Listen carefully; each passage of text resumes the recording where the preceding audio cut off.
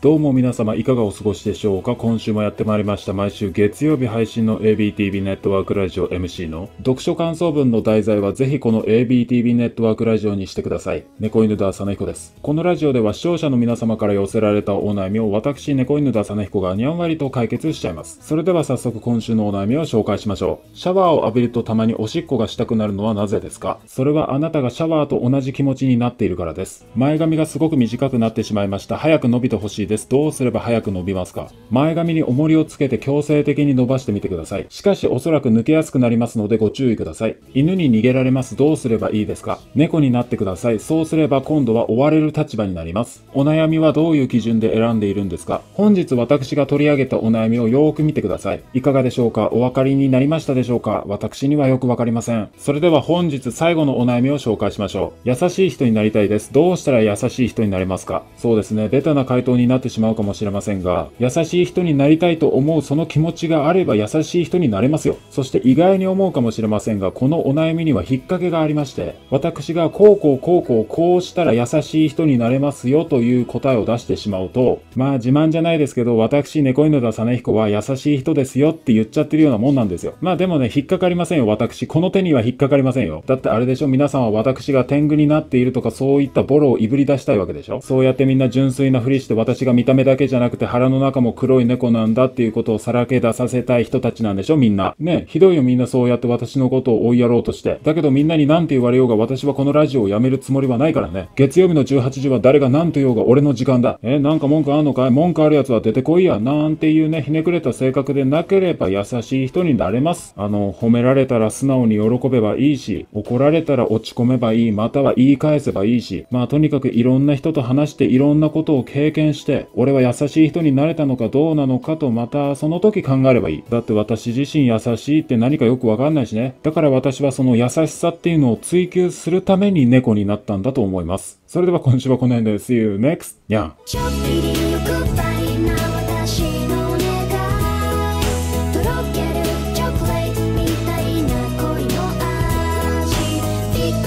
ないで